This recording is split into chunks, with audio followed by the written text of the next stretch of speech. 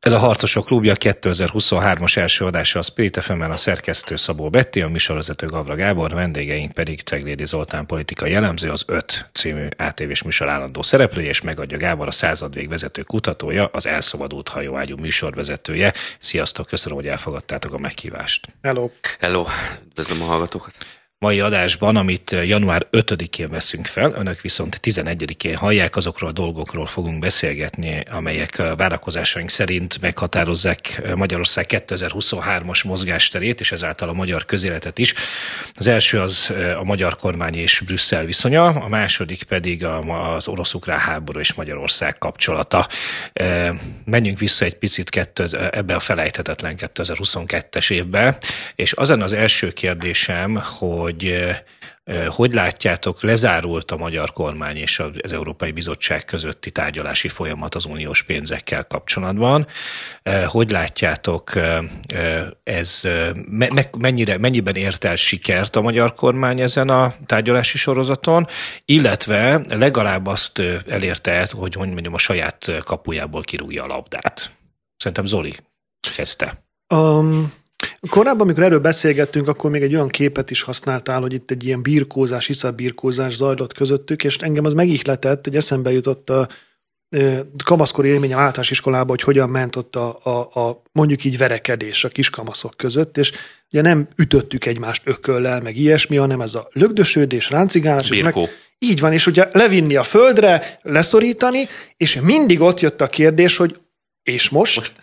Mert ugye, és akkor elindult egy ilyen diplomáciai folyamat, hogy meg, figyelj, elengedlek, elengedlek, de akkor abba hagyod. Akkor ne csináld tovább. És ugye ilyenkor... És a tíz óraimat pedig akkor legyél, legyél szíves visszaszolgáltatni. És két dolog történhetett. Az egyik, hogy fölállt és tényleg elkullogott, elismer a vereséget, a másik, hogy rögtön elkezdett szájalni, meg rugdosódni, meg köpködni, és újra kezdődött. És szerintem a 2022-es esztendő az úgy zárult, hogy a bizottság leszorította a Fideszt, tehát hogy csináld meg ezt, azt, tamaszt, foglak, nem kapsz pénzt, és annak a dilemmának a, a, az eldőlésére várok én, én idén, hogy, hogy mikor engedi föl, mert ugye nem feküdhet rajta egész, tehát oda kell adni a pénzeket. Tehát van, van egy, magyarul van egyfajta, tehát ez egy, ez egy kötött fogású történet akkor szerinted, van egyfajta szabálykönyv, ami szerint a felek küzdenek? Nem, nekem az az állításom, hogy előbb-utóbb, hogy odaadják a pénzeket, akkor, akkor Orbán Viktor döntési helyzetbe kerül, tehát hogyha nem tudták kiütni, meg megfojtani, akkor döntési helyzetbe kerül, hogy a, az ideiglenesen általa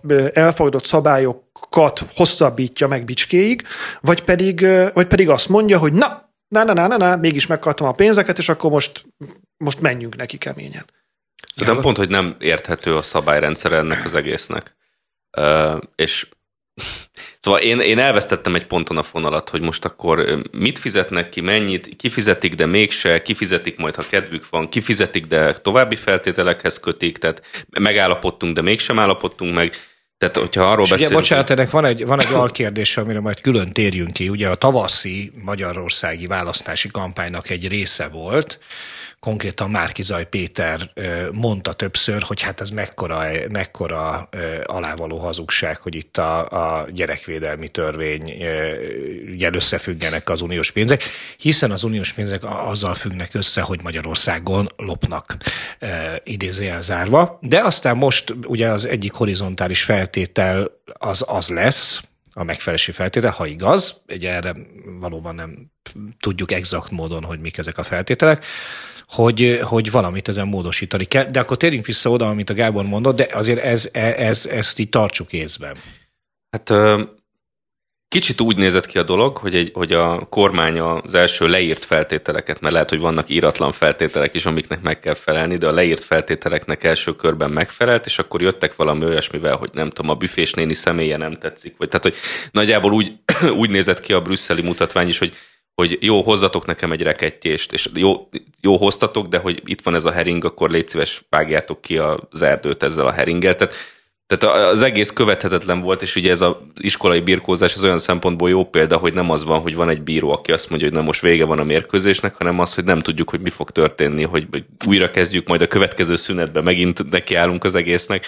Szóval, és az átlagember szempontjából nehezen követhető az, hogy mi történik, mert ugye nem csak a helyreállítási alapról van szó, hanem, hanem a kohéziós pénzekről is szó van, és én, én annál a pontnál háborodtam föl, úgy Isten igazából, hogy hogy azért, de hát ez nem úgy működik, hogy a kohéziós alapokból, amiben ugye Magyarország befizet, abból majd úgy fizet a bizottság, amikor éppen neki kedve szottyan, vagy úgy fizet, ahogy ő akar, vagy éppen nem fizeti ki ezeket a pénzeket. Tehát az egész, tehát amire a több mindenre, majd erre is rátérünk erre a korrupciós ügyre, de a, a, az Európai Unió intézményeinek a törvényuralma szellemiségéhez való kapcsolódása kérdőjeleződött meg, hogy finoman fogalmazzak.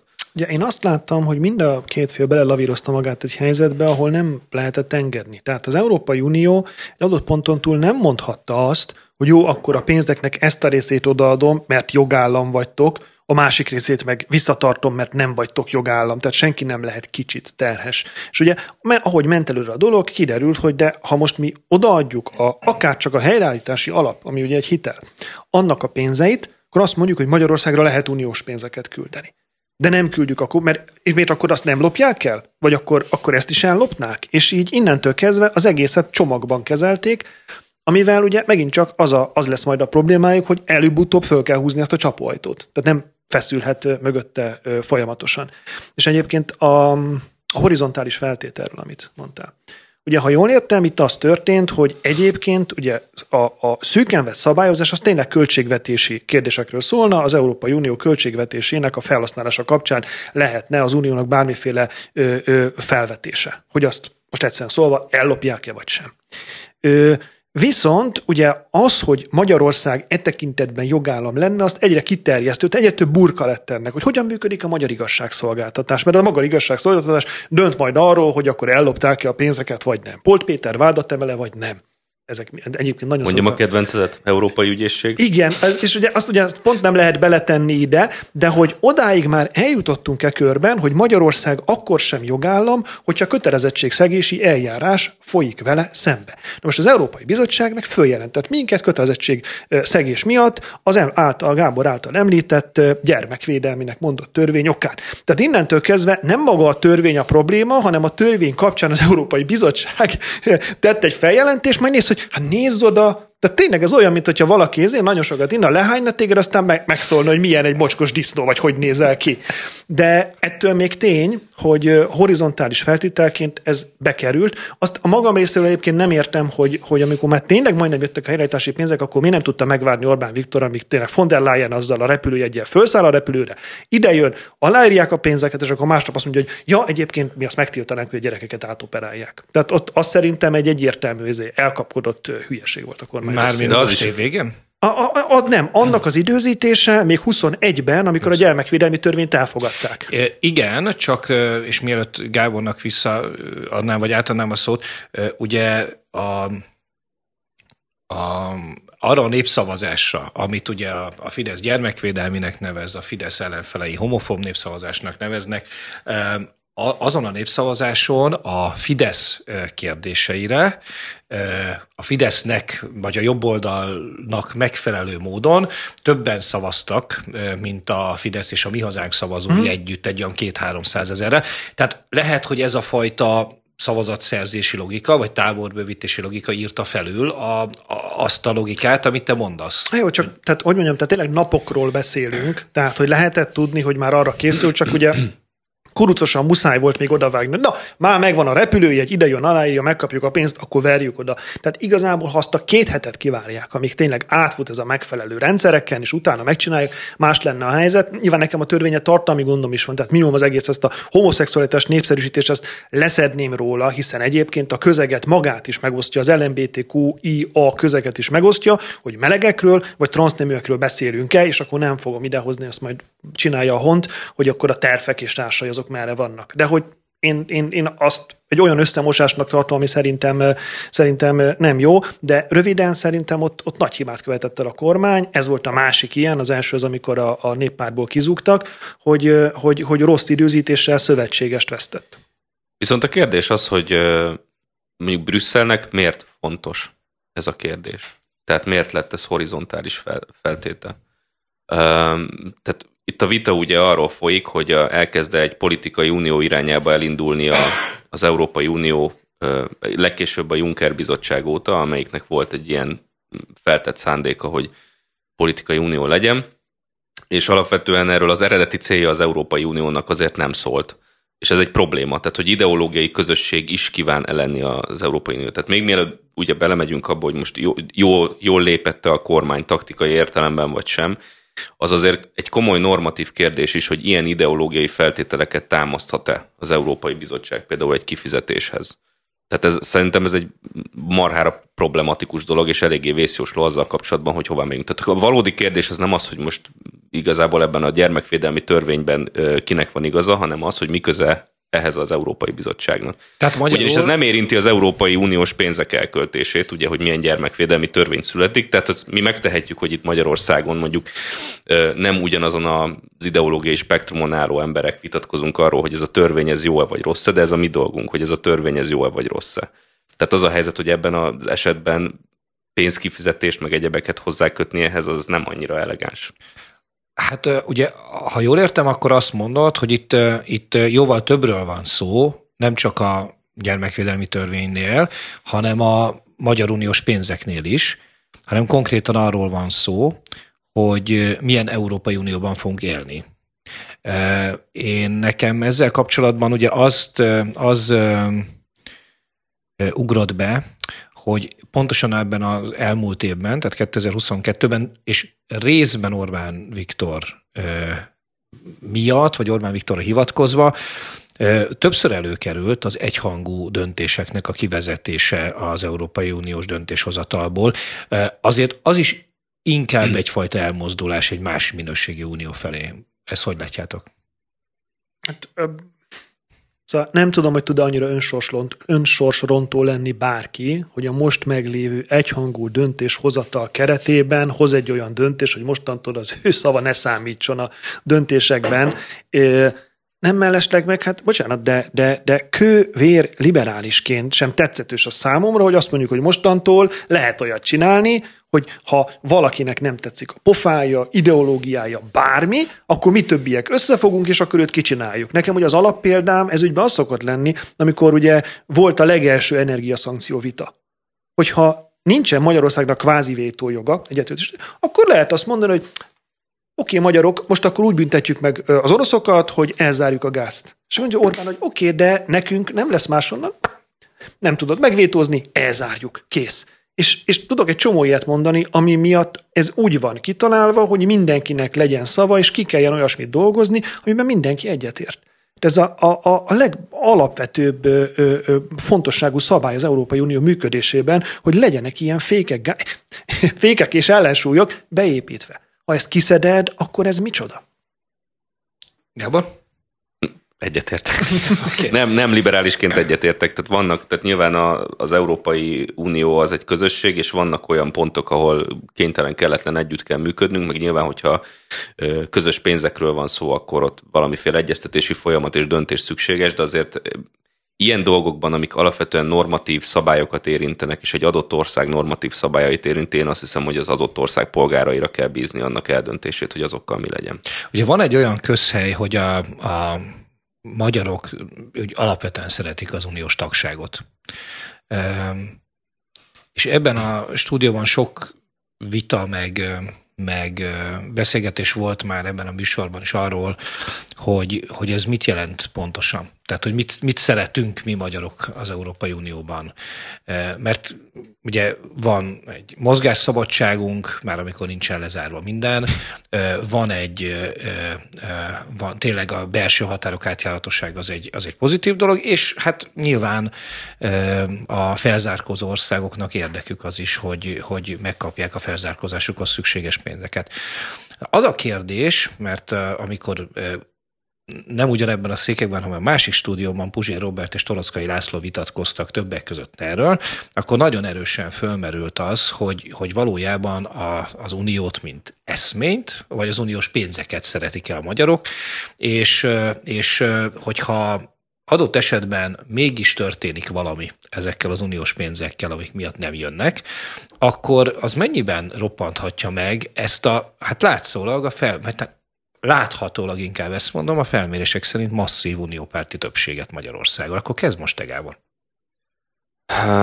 Én azt hiszem, hogy a magyarok eléggé pragmatikus emberek többségükben, mondjuk így majd a háború kapcsán szerintem kitérünk ugyanerre, tehát ott is ez a Putyin pártiság ellenesség valójában hogyan képeződik le. Én azt hiszem, hogy még ha nem is mondjak, mondják ki a magyarok, alapvetően az uniós tagság az nekünk addig jó, és úgy jó, hogyha előnyök, vagy akár kölcsönös, kölcsönös előnyökkel, előnyökkel bír. Tehát származnak belőle előnyök. Tehát, hogyha arról van szó, és arról szól az uniós tagság, most nyilván némiképp torzítok, de hogy, hogy jönnek ezek a brüsszeliták, és akkor kérik, hogy ezt a törvényt, meg azt a törvényt is módosítsd, meg ne így éljél, meg lehet, hogy megszavaztad, de nekünk ez akkor se tetszik, változtasd meg, és még a pénzeket is visszatartjuk, akkor ez nagyon gyorsan meg tud változni abba az irányba, hogy mégsem szeretjük annyira az uniót. Tehát az, amire a, a az unió bürokratái hivatkoznak valamiféle ilyen csodálatos ideológiai egységre, meg ilyesmi, szerintem ez nincs a magyarok fejében. Szeretjük a szabad mozgást, szeretjük, hogy könnyű átmenni egy másik országba, már ahogy említetted, hogyha éppen könnyű, és egyébként nagyon érdekes, ez egy közbevetésként mondanám, hogy ugye a magyar miniszterelnököt mindig azt mondja, hogy ilyen begyöpösödött szuverenista, meg mindenben csak a nacionalizmus támogatja, de azért emlékezzünk vissza arra, hogy amikor elindult a migrációs válság, akkor sokat szóra is javasolta például a közös európai hadsereget, ami egyébként az orosz agresszió fényében nem biztos, hogy akkor a hülyeség lett volna, de zárójel bezárva. Szóval Szóval szeret, szeretjük az előnyöket, amik járnak az uniós tagsággal, de nem hiszem, hogy a magyarok többsége az valamiféle ideológiában lenne szerelmes, amit a brüsszeli léek rajzolgatnak ott pesgőzés meg kaviározás közben a, az üléseken. Pláne, hogy ugye, amiről te beszélsz, azt egyfajta paródiaként ismerik itthon a nyilvánosságban. Szerintem több mindent szeretnek egyébként a magyarok az Európai Unióban, de az első szempontok között van az, hogy, hogy küldenek ide pénzt Ugye ezeknek egy jó része az, ezt próbálom mindig elmagyarázni, nem az történik, hogy jön az uniós pénz, és az egy az egybe így berakják a Mészáros Lőrinc páncélszekrényébe. Tehát egy jó része máshova megy, egy jó része meg oda megy, de tesz egy kört. De a gazdaságban teszi meg ezt a kört.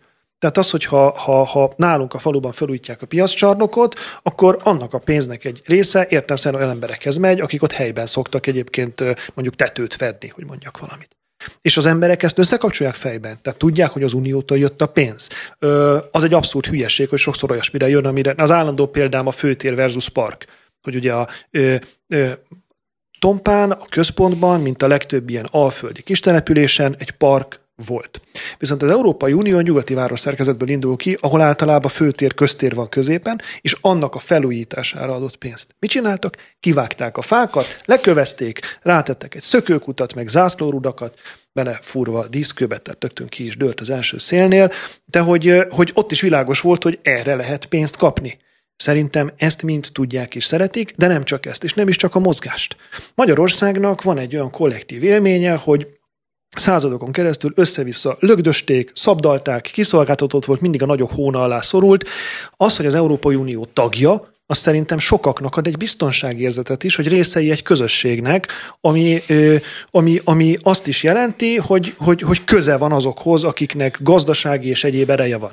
Ebből kiszorulni szerintem félnének a magyarok, de a magyarok nem az Európai Uniót, hanem az uniós Magyarországot szeretik. Tehát azt az országot, ami tagja az Európai Uniónak. És nekem van egy olyan ö, rossz élményem, hogy Magyarországot állandóan, mint hogyha megjelennek egy ilyen markolóval fölötte, így kikapnák, és akkor vagy ide, vagy oda akar, hogy legyünk nyugat.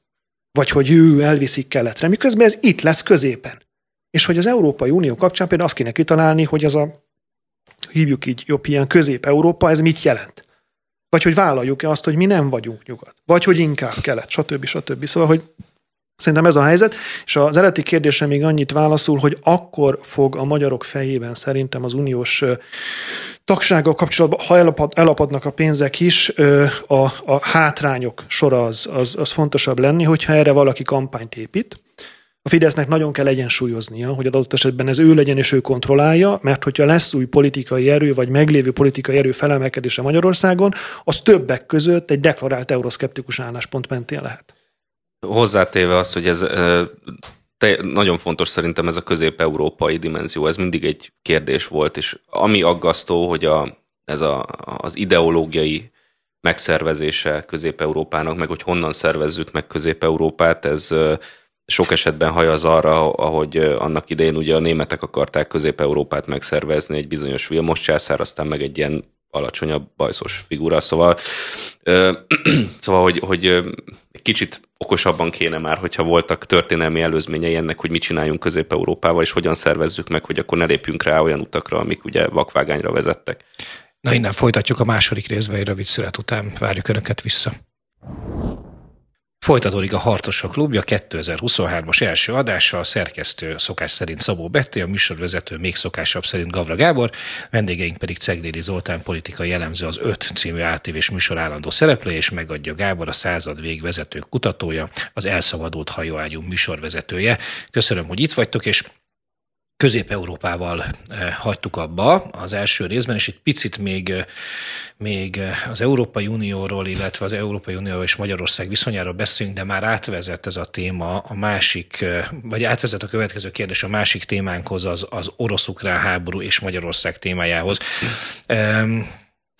Nekem ez nem annyira kérdés lesz, inkább elmondom egy dologról a véleményemet, aztán kíváncsi vagyok a tietekre. Szerintem a saját szempontjából az Európai Bizottság azzal mindenképpen követett el hibát, hogy miután az orosz-ukrán háború lett az első számú törésvonal Európán belül, és ez ugye meghasította a Visegrádi tengelyt is, én engem meglepett, hogy a nyáron a lengyelekkel tovább szórakoztak pénzügyekben. Tehát, hogy a legorosz ellenesebb közép-európai országot, ahelyett, hogy leválasztották volna teljesen a amúgy orosz barátnak elkönyvel, de majd beszéljünk róla, hogy ez jogos vagy nem, magyar kormányról, vagy Magyarországról. Ehelyett, bár létrejött a megállapodás, a lengyeleket tovább, tovább szivatják. Szóval egyetértetek ezzel a megállapítással, illetve ha igen, akkor, akkor, akkor, akkor mi, lehet a, mi lehet az a nagyon fontos tényező, ami még az, az elvileg minden másnál komolyabb veszélyt, az orosz veszélyt is felülírja, Brüsszelben. Zoltán. A, az, tehát tartania kell magát ezeknek a döntéshozóknak ahhoz a képhez, hogy nekünk igazunk van. És ez egy, ez, egy, ez egy komplett állítás. Nem tárgyalunk arról, hogy az általunk vallott, gondolt, képviselt dolgok egy része helyett az legyen, amit te akarsz, hogy esetleg legyünk tekintettel arra, hogy ebben lehet, hogy a lengyelek eltérhetnek attól, amit mi gondolunk, mert nem másfelé, hiszen az megrengetni az egészet. Ugye a, a szünetben szóba kerültek a fact csak az jut eszembe, hogy vajon volt-e már olyan, hogy egy, egy fact egy valóságot azt hazugságnak minősített és letiltatott valahonnan. Lehet, hogy volt, de nem hallottunk ilyesmiről, mert egyik sem mondta azt, hogy elnézést, ebbe mit tévedtünk, és neki volt igaza. És egy picit ugyanez a szemlélet itt, hogy nem lehet azt mondani, hogy jó, akkor mégse vagytok annyira homofóbok, vagy bármi ilyesmi, ami a lengyelek kapcsán fölmerül. Bocsánat, Zoli, csak ugye az, az a másik kérdés, hogy a, vagy, vagy az, az a másik érdekesség Lengyelországgal kapcsolatban, hogy azt hiszem, hogy a Kaczynszkijékről az ellenségeik sem állították soha, hogy korruptak lennének mm. ráadásul. Tehát, hogy, hogy az, a, az a fő probléma, amit mondjuk Magyarország kapcsolatban megfogalmaznak, én, nem, én legalábbis én nem hallottam a, a lengyel kormánypárthoz köthető korrupciós ügyről egyről sem. Szerint... Azt állítják róluk, hogy őrültek. Tehát az az állítás a Ez egy nagyon hogy, őrült, hogy őrültek, de én is, tehát legalábbis ami hozzánk eljut, eddig mindig csak ideológiai viták voltak Brüsszel és a lengyelek között, és hogyha jól tudom, akkor kaptak is egy ilyen naponta, nem tudom, egy milliós bírságot, valami olyasmi miatt, hogy ők hogyan rendezik a bírók ügyeit, meg hogy, tehát, hogy felülbírálhatja-e a lengyel alkotmánybíróság a lengyel törvényeket, tehát valami e-, egészen abszurd dologban történt egy ilyen bírság, tehát rendszeresen ideológiai okokból ö, csuklóztatják őket. Ha meg legalább ebbe legyen egyenlő mérce. Tehát, hogyha van egy, tehát Magyarország kapcsán sok vitát lehet arról szerintem folytatni, hogy keresztény állam, és ha jön, akkor ez mit jelent. Lengyelország esetében nem nagyon szoktuk megkérdőjelezni, hogy van szerepe annak, hogy az emberek azok hisznek valamiben. És hogy ezt azért legalább annyira tiszteletben lehetne tartani, mint más vallásokat az Európai Unióban ö, ö, volt szokás, és egyébként hihetetlenül kontraproduktív ez az egész, mert én, én számítok arra, hogyha ezt tovább folytatják, akkor Fél év múlva, egy év múlva Orbán Viktor ott fog középen vigyorogni a v következő ülésen. Ugye volt már egy ilyen találkozó, amit már erre használtak volna, de vissza lehet ezzel, ezzel egyébként jönni. Miközben, hát mondom, nekem például a, a, a lengyel LMBT mentes övezetekkel rengeteg bajom van, mert szerintem egy önkormányzat az, az nem ezért van meg. Ne, így, ne így ossza meg a maga e, e, lakosságát, lehet erről vitatkozni, meg hogy mire az Európai Unió pénz, de megint csak ott nem feltétele eredetileg annak a pénznek, amit visszatartanak, az, hogy ez így vagy úgy működjön. Úgyhogy ez, ez, ez önsorsrontás, meg hát van egy, tehát paradox módon szerintem van egy mondás hiánya, vagy tartalom hiánya az Európai Uniónak. Ez a kik vagyunk mi. Mindig azt látom, hogy napról napra próbálnak megoldani egy problémát. Hát hogyan lett egyáltalán bizottsági elnök von der Leyen? Hogyan sikerült költségvetést elfogadni? Hogyan döntenek az utolsó utáni pillanatban arról, hogy milyen pénzt adnak oda, miért nem? Tehát, hogy folyamatosan csúszik az egész, nem, nem tart az Európai Unió sehová.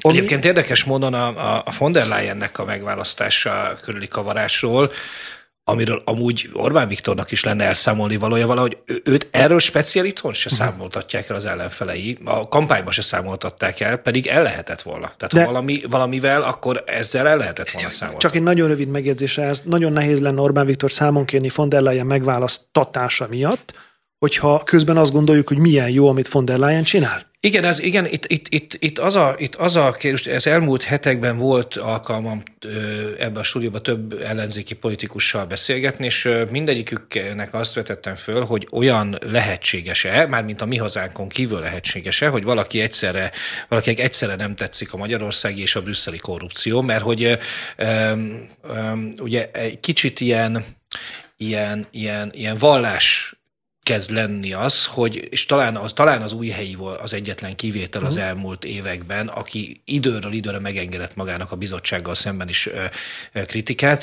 de hogy minthogyha az, az a kép kezdene kialakulni, hogy alapvetően az Európai Unió intézményeinek, bár, bármelyiknek mindig igaza van. Tehát, hogy a, akármi történik, az, az, az, az valamiféle abszolút mérce, ami, ami, ami onnan jön, hogy szerintetek olyan fajta rendszerkritika, és a rendszer alatt a NERT is, és, a, és az Európai Európai Unió rendszerét is értem, tehát azt a fajta, eh, mondjuk azt, hogy globális mainstreamet, amiben beletartozik az Európai Unió, ilyen lehetséges-e? Vagy ez, ez, ez a, nyilván lehetséges, csak a mi hazánkon, meg ezen a radikális eh, jobboldali rendszerkritikán kívül eh, lehetséges-e? Politi- olyan, olyanról beszélsz, ami, poli- ami, ami szemmel látható politikai képviselettel Aha. is rendelkezik? Hát nem. Ennek most lehet, hogy később igen, de én most azt látom, hogy olyan, ami számottevő és, és választókat maga mögé sorakoztatni tudó erőről, rendszerkritikus erőről beszélünk, az bizonyos strukturális, meg egyéb okokból most az csak jobbról lehetséges. Vannak, vannak figurák, akik, tehát ezt mondjuk mondhatnám Siffer Andrást, akit nem mondhatnék jobboldalinak, vagy radikális jobboldalinak, mindig kikéri magának, amikor baloldalizok, hogy ezek senki se baloldali, csak ő az. De hogy mondjuk ő gyakorol ilyen fajta kritikát, de hát ugye Schiffer András most már nem, nem is tagja pártnak, és nincsen mögötte politikai képviselet. Tehát hangok vannak, akik ezt képviselik, de, de politikai erőt én, én nem nagyon látok. Egy kicsit, bocsánat, csak a, hogyha visszatérhetek erre a lengyel ügyre, mert a Ugye, hogyha nem látom azt, hogy a józanészből fakadhat ilyen hozzáállás, amit a Brüsszel tanúsít a lengyelek iránt, akkor valahol máshol kell keresni, nem a józanészben ennek a forrását. És, és sajnos ez oda vezet vissza, ahol lezártuk az első részt, hogy ez egy rossz mintázat, amit most követnek. És az egyik kedvenc példám, amit szoktam mondani, az a sokfajta gyarmatosítás volt a múltban. És nem azért, mert védeni akarom az angol szászok gyarmatosítását, mert meglehetősen undorító volt egyébként, ahogy ők gyarmatosítottak, de mondjuk meglehetősen okosan csinálták azzal, hogy ledileltek a helyi erőkkel, érezt, hogy te vagy a főnök. Tehát itt ebben a konfliktusban azt látom, hogy akkor is mi vagyunk a főnökök, akkor is mi mondjuk meg, akkor sem hátrálunk ebből a pozícióból, és ez a már emlegetett német típusú gyarmatosítási modell, amikor mindenkinek káposztát kell lennie, mert mi káposztát teszünk, és a felsőbbrendű ember káposztát teszik, akkor ti is káposztát tesztek. És, és egyszerűen, és ugyanezt látom a többi ideológiai vitában is, tehát velünk kapcsolatban is, hogy miért nem csinálja azt egy ilyen központi hatalom bármi, hogy, hogy a helyi erőkkel megegyezik, hogy neked mi a fontos neked ez fontos, jó, akkor ebben engedünk. Ti meg engedjetek ott, hogy. Tehát, hogy mi most dílekről beszélek, ami egy modus vivendit alakíthat ki, a saját dolgokat is könnyebbé ten, tennék ezzel, és erre való késztetés nem látok igazából ez a probléma. A, biztam benne, hogy lesz németezés azért, és ez, ez most megtörtént. Igazából... Egész sokat vártunk rá. Igen. Igen, hát korrupció ügyében szerintem van egy szerep megosztás, hogy a magyarországi korrupció ellen harcol Brüsszel, a bizottság, az Európai Parlament, és az Európai Parlament korrupció ellen harcol pár belga rendőr. Tehát, hogy igazából nem azonos a nagyságrend, de hogy tulajdonképpen minden hova ez, ez, ez be van osztva. Én szerintem, hogyha Ungár Péter nem ijed meg, akkor az LMP-ből tudna csinálni egy olyan pártot, ami a, azt, amit ő egyébként el szokott mondani, azt mondjuk egy EP képviselőnyi helyjel meg tudja erősíteni 24-ben. Jelesül, hogy neki sok baja van azzal, amit az Európai Unió csinál. Nekem azzal is a, a marxista izével, ami, amilyen alapon a Péter fölkérdezi őket, de ettől még ez legitim, és hát értelmszerűen a Fideszről is el szokta mondani, hogy ne legyen akkumulátorgyár, meg legyen több kulcsos adó, és stb. stb. Tehát, hogy ezt baloldalról is létezne, létezhetne, a, a politikában van is ilyen szereplő, és az, amiről beszéltünk, nekem nyilván liberálisként azt tetszene nagyon, hogyha akár a Fidesz, akár az Európai Unió kapcsán a több szabadságot kérnénk számon ami egy ö, ö, sokféle dimenzióban megvalósítható ö, ö, program, elismerve azt a szabadság vágy egyébként az is maga foglalja, hogy különbözőek vagyunk. Tehát nem azt mondom, hogy te rossz vagy, vagy érvénytelen vagy, vagy ne létezzél, hogy kitöröllek a Facebookról, meg a, leszedlek a tévéből, hanem azt mondom, hogy van egy vitánk. Én mást szeretnék, és szerintem ez az Európai Unió kapcsán is lehetne, vagy megvalósulhatna, pláne, hogy ugye egyre több szereplőt kell betolni egy ilyen színes koalícióba az, hogy irányítani lehessen, mert a vége mindig az, hogy akkor jó, akkor még mindig kicsit a hagyományosabb pártok azok többségben vannak, és akkor ők hoznak döntést.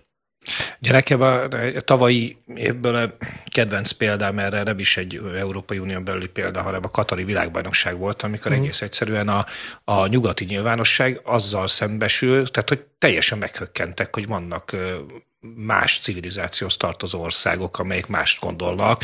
Nekik egyébként fontos alapvető kérdésekről, ami nem feltétlenül szimpatikus, amit gondolnak, de hát, hogy ezek, ezek év, századok, évezredek óta létező dolgok, és, és sosem volt ebből a szempontból egységes az emberiség. De, de ott is az a kérdés merül fel, hogy jó, de mi közünk van hozzá. Tehát ez, beszélhetünk arról, tehát lehet azt képviselni, hogy van közünk hozzá, csak akkor kíváncsi vagyok, hogy, mi? Az, az hogyan, igen, az hogyan, hogyan valósul meg. Ez egy jó példa volt egyébként a Katari világbajnokság, hogy a, a németek elérték azt, hogy még Katar is elkezdett szimpatikussá válni. Én magamról nem gondoltam volna ezt, én annyira nem rajongok az ilyen közel-keleti Mohamedán történetekért, de ott, ott úgy, úgy, úgy tűnt, mintha a végére, végére még, még Katar szimpatikusabb, meg adott esetben még toleránsabb is lett volna, mint a, mint a karszalagozó németek, szóval Időről, a, időről, időre, időről időre azt látom egyébként, hogy a, a bezárt ajtókon kívül reket szereplők ö, ö, jelentősége az meg tud nőni.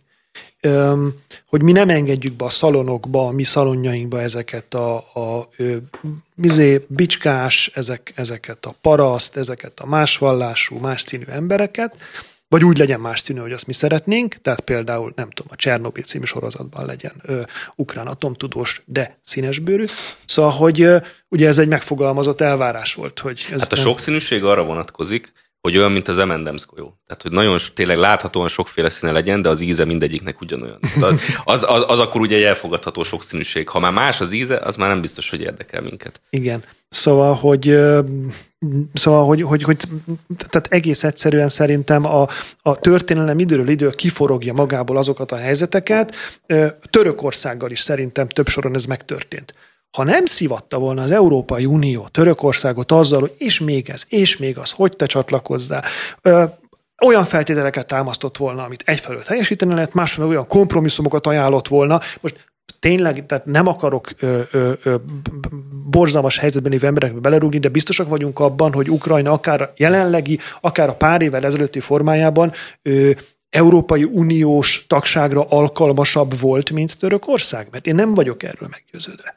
Na most mégis arról beszélünk, hogy az ott a, a jogállam, a demokrácia, az emberi jogok kiteljesítésének egy, egy, egy, egy csimborasztója, ami ott történik. És ahogy Törökország fölértékelődött a menekültválság kapcsán, a NATO bővítés kapcsán, a legkülönböző most, amikor a, gabonát kellett volna, tehát élelmiszert kellett volna a világnak szállítani, és időről időre ugyanezt történik. Katarral, én nagyon röhögtem, amikor rájöttek, hogy Venezuelával sincsen baj, hiszen van benne olaj, és egy csomó ilyet tudok mondani. hogy miért nem lehet ezt észszel csinálni? Miért nem lehet azt mondani, hogy nem rajzolok olyan koncentrikus köröket magam köré, aminek a közepén én vagyok a legjobb, és minél messzebb vagy, annál büdösebb. Ezt nem, ezt, ezt nem lehet csinálni. Ezt kicsiben uh, itthon is eljátszották, ugye a, a tahó, uh-huh. vidéki, sutyó parasztok, azok nem valók abba, hogy nem, nem valók a politikában, ne döntsenek ők semmiről aztán mégiscsak döntenek, és lehet, hogy nem is akkor a tahó, sutyó parasztok. Tehát, tehát ez kicsiben, vagy nagyban ugyanazt játsszák el, amit kicsiben is eljátszol. Hmm. Megérkeztünk a háborúhoz. Zoltán tulajdonképpen már meg is előlegezte. Mind a kettőtökhöz szól a kérdésem, hogy ugye ez a, ez a háború, ez gyakorlatilag ketté szelte a magyar választási kampányt 2022-ben. Nehéz nyilván megmondani, hogy enélkül kétharmad lett volna-e, de azt megkockáztatom, hogy egy ilyen egymilliós listás különbség a, a hat párti ellenzék és a Fidesz között az utóbbi javára valószínűleg nem. Elkerülhető lett volna ez. Tehát lehetett volna máshogy politizálni az ellenzéknek, vagy akár kellett volna, vagy lehetett volna máshogy politizálni Orbán Viktornak, amikor nyilván az egy, egyik szereplő se tudott arról, hogy, hogy, hogy egy ilyen e, meteoritként becsapódik a választási kampányba ez a, ez a, ez a háború. Ki kezdi? Gábor kezdi. Szerintem nem tudott volna nyerni akkor sem az ellenzék, hogyha, hogyha ez a történet nem jön ebben majdnem biztos vagyok. Arányokról lehet beszélni, tehát lehet, hogy mondjuk ha nem Márki Zaj Péter a, a miniszterelnök jelölt, akkor könnyen lehet, hogy ez nem ekkora súlyos zakó, mint amit, amit elszenvedett most az ellenzék. Ö, szerintem, azt nem tudom, hogy mondhatott-e volna Orbán Viktor mást, mint amit mondott, de az biztos, hogy az a, az, a Fidesz üzenete az teli találat volt azzal kapcsolatban, hogy a magyarok hogyan állnak egy ilyen háborúhoz, ami itt van a szomszédunkban. És szerintem a... Bocsánat, megszakítalak. Mit tudunk erről? Tehát hogyan állnak a magyarok ehhez a háborúhoz? Én valószínűleg, valószínűleg a miniszterelnök is láthatta azokat a számokat, amiket én is láthattam, tehát a, de mondjuk ez a választások után jött ki, és ez egy nagyon érdekes ö, ö, szám, szám volt, vagy számsor volt azzal kapcsolatban, hogy a magyarok hogyan ítélik meg Biden-t, Zelenszkit és Putyint mert az ellenzéki médiában, és ezért látom, hogy most megint arra felé mennek, ahova nem kéne, átküldtél nekem egy cikket a mércéről, sose adod már vissza azt a néhány percet, amit, amit elolvastam ezzel kapcsolatban, hogy, hogy, hogy megint félre mennek, amikor azt mondják, hogy, hogy a, a fideszes többség putyinista lett, meg orosz párti, meg ilyesmi. Tehát ezek a számok világosan megmutatják, hogy a Putyinnak az elutasítottsága az legalább akkora, mint az Zelenszkié, hanem nagyobb. Itt nem Putyin pártiságról van szó, itt arról van szó, hogy Magyarország ki akar maradni. Tehát amit Orbán Viktor elsőre mondott, hogy mi ki akarunk maradni ebből a háborúból, az a magyar nép többségének a vágya. Tehát ez a, és ez a semmi közünk hozzá, ez nem a mi Semmi, semmi közünk hozzá, és egyébként még egy érdekes történeti adalék, hogy, hogy Magyarország valójában például mind a két világháború alkalmával így indult hogy nem szeretnénk ebben részt, egyikbe se szeretnénk részt venni, csak aztán voltak olyan erők, amelyik sikere, sikerrel ö, tolták oda, meg hát nyilván kellettek hozzá olyan magyar vezetők is, akik nem kellő eréllyel ö, tartották távol, illetve valószínűleg volt már mindkét esetben egy olyan pont, ahol már nem is lehetett valójában kimaradni, ott, ahol mi vagyunk, ott ez egy nehéz ügy.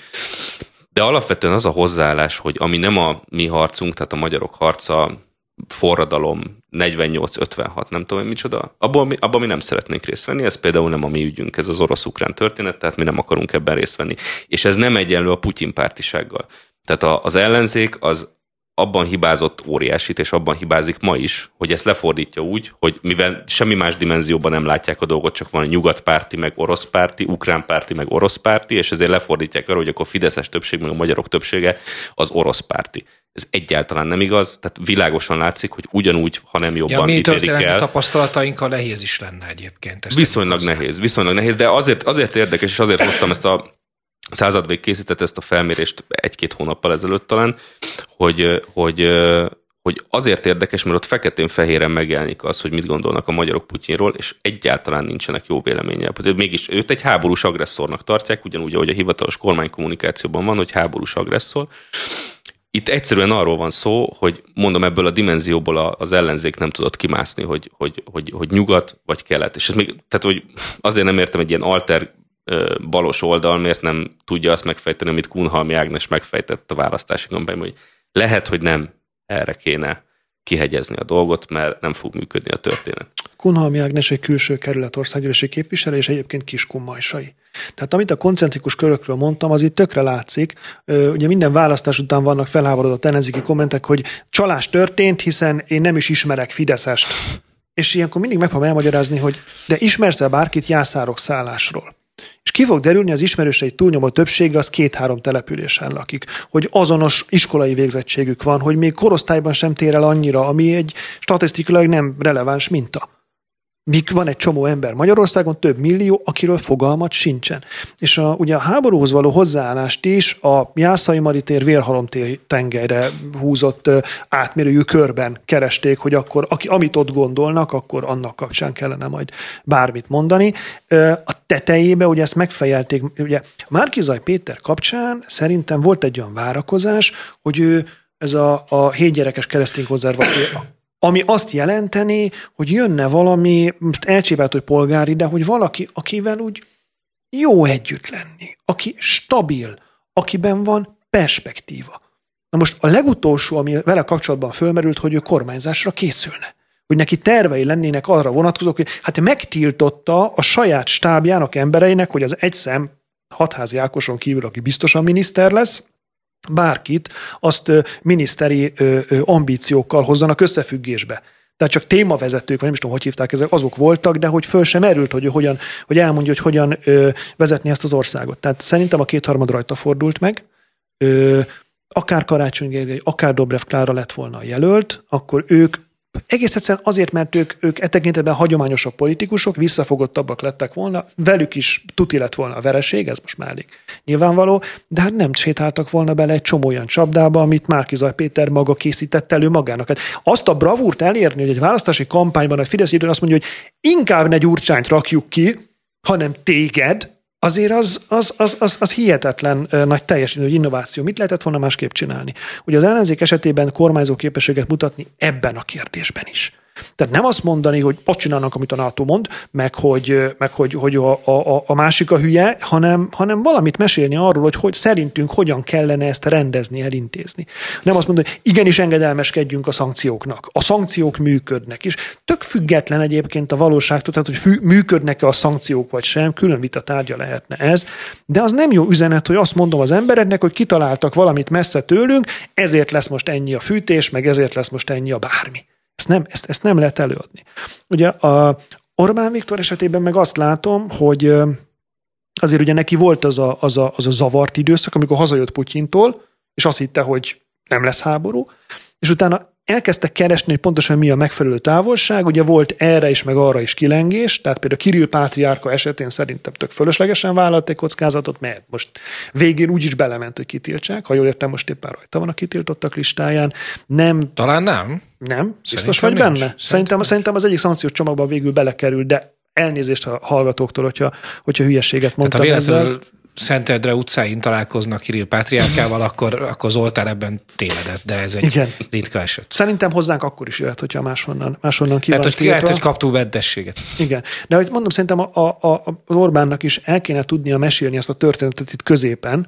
Tehát bele kell állni abba a helyzetbe, hogy mi nem leszünk se jobbra, se balra attól a Kárpát-medencétől, most vagyunk, és ennek ez a története, Szerintem itt, itt ugye ez, nyilván ez egy nehéz helyzet, hogy az Európai Uniós pénz meg nem jön, hogyha nagyon, nagyon, nagyon kuruckodik, de azért Szóval én, én azt láttam, hogy itt volt egy nagyon komoly tényfergés, meg ingadozás, hogy most néha beszól az uniónak, néha nem a brüsszeli korrupciós botrány az nagyon jól jött neki. Az teljesen világos, hogy ott, hogy lelettek tekerve bizonyos szereplők.